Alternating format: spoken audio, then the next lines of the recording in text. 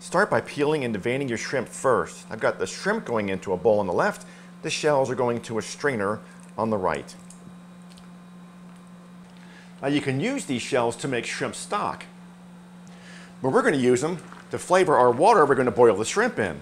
We'll just place them in the water as it's boiling. This is unsalted water, and we're going to keep them in the strainer and let them cook for about two minutes until they turn nice and pink and give off their flavor. Now that our shrimp water has some flavor to it, we'll let it come back to a rolling boil.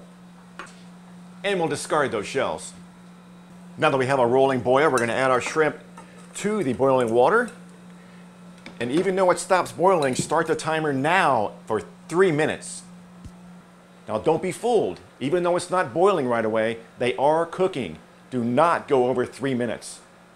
Next, we're going to get them out of the hot water onto some paper towels.